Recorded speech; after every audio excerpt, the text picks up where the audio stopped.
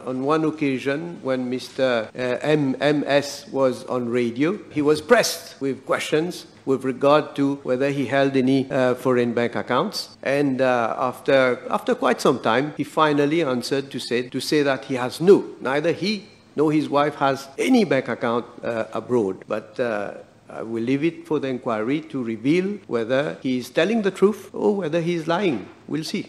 I'm informed that prohibition orders have been issued by the magistrate of Port Louis South prohibiting Mr. MS and Mrs. VS from leaving the country until the determination of their case by virtue of Section 14 of the Bail Amendment Act 2002. The passports have been secured by the police. Only Mrs. VS has entered a case contesting the prohibition order and the case is coming for arguments on 7th of June 2023.